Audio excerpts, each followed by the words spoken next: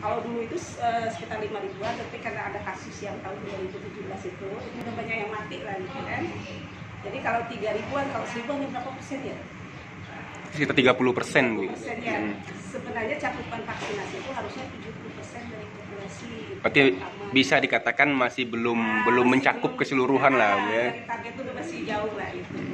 Kalau untuk HPR se-Kabupaten Mempawah, Bu, Itu Kalau diperkirakan, yang Bu? Ya sekitar mungkin lima ribuan gitu lah kalau sekitar 5 ribuan kalau se-kabupaten karena Kabupaten.